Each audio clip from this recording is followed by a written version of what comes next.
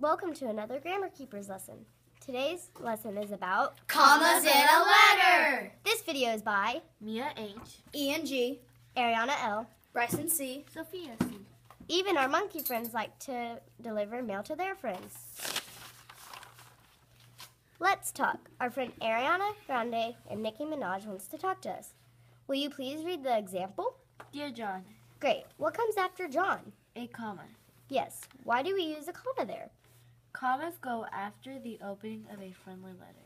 Perfect. Now I know about commas in a letter. Yay!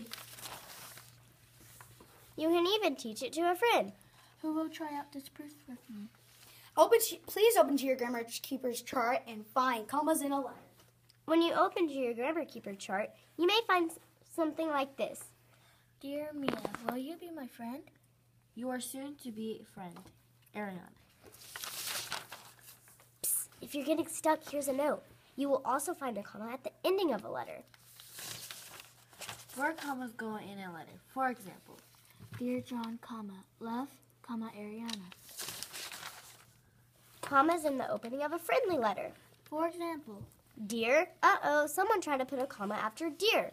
You always put it after the person's name. For this example, it would be Justin. Thank, Thank you for watching.